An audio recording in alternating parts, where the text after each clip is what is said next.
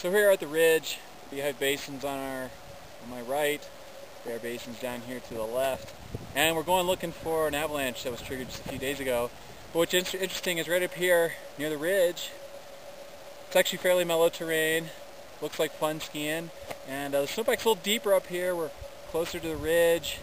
You get a little bit of wind blown snow trickling in, so overall throughout the season this has been a fairly deep snowpack, and for right now it looks uh, looks fairly strong, right, just right here near the ridge. But we're we're a little skeptical, knowing that we've had a lot of avalanche activity, and digging our snow pits right here near the ridge, where it's a little bit deeper snow, just leads us to think we might not be getting a clear picture of what's going on in the snowpack.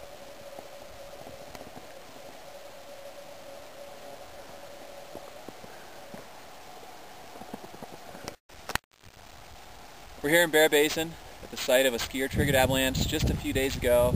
It's interesting because it's been quite a while since we've had any significant snowfall and we're still getting avalanches. And it's on this same layer right in here, this really sugary faceted snow.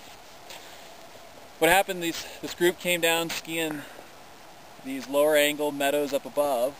They came down and what happens here with this terrain is as you come down lower, the snowpack gets a little thinner, and right in here, it rolls over where this rock band is. It gets closer to 40 degrees, and this is where they triggered the avalanche.